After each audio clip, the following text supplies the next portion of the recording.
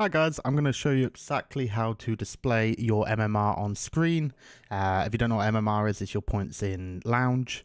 Um, so basically what you want to do, I'll just remove this beautiful Sherbet Land picture here. I will display my OBS right now. So I don't have it enabled on this um, section I'm using to record. So what I'll do, I'll go down to browser source. This is also where you'll want to go straight to browser source, click browser. I already have it um, as a browser source set up on a previous um, source. So I'll click MMR there.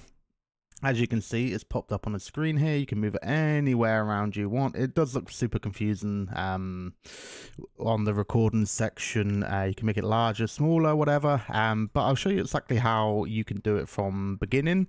So what you want to do, you'll go to browser source um, here click browser and then once you're on there uh, this screen here will pop up so I'll leave this link down in the description Basically, this link is going to be exactly the same for you, but apart from Lukealele, you'll have your name at the end.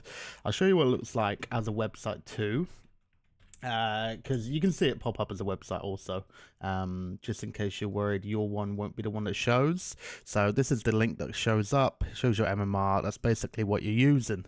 Um, so you want to put it in 1920 by 1080 then you can just extend it as much as you want. You can make it smaller um, but that's the preference size you'll want.